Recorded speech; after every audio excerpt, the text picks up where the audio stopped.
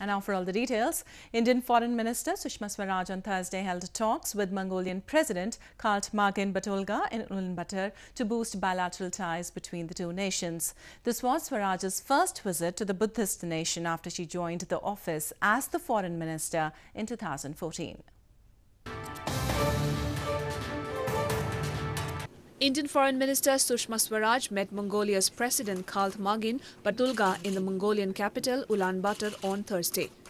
Both the leaders held talks on issues of mutual interest to boost bilateral ties between the two nations. A day earlier, Swaraj held a meeting with her Mongolian counterpart and the two leaders discussed ways to increase cooperation in various sectors including trade, technology, energy and tourism. Early on Wednesday, Swaraj also addressed the Indian community in the Buddhist nation of you.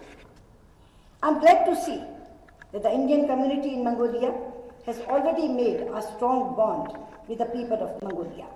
You can be a powerful force in promoting India's ties with Mongolia. This was Swaraj's maiden visit to Mongolia after she joined the office as foreign minister in 2014. She arrived in Mongolia on Tuesday after wrapping her one-day China visit where she attended the meeting of the Shanghai Cooperation Organization in Beijing.